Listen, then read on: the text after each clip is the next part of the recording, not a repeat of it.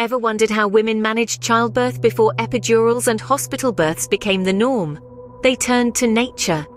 Today, we explore how natural remedies can alleviate common problems during childbirth and how they measure up against conventional medicine. Now, childbirth is a beautiful yet challenging process. Common issues range from labor pains, anxiety, to postpartum recovery. Conventional medicine offers effective solutions, but sometimes the side effects can be off-putting. For instance, epidural pain relief, while efficient, can lead to lower blood pressure affecting both mother and baby.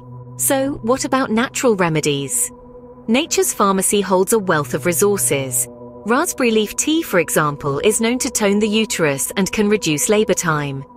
Lavender oil, a popular aromatherapy choice, can soothe anxiety and promote relaxation during labor.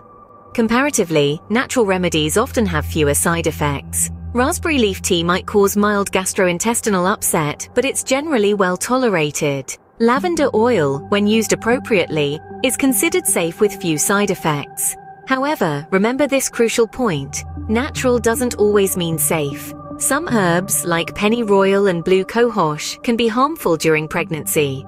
It's essential to consult with a healthcare professional before trying any new remedy. Conventional medicine and natural remedies each have their merits. Conventional medicine provides quick and effective relief, but may come with notable side effects. Natural remedies, on the other hand, offer a softer approach, with typically fewer side effects, but their effectiveness can vary.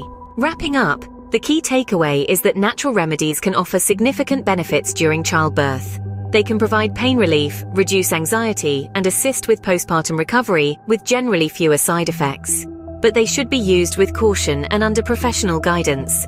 Whether you lean towards the conventional or the natural, remember it's about what makes you feel most comfortable and safe during your childbirth experience. After all, this is your journey, and you get to decide which path to take.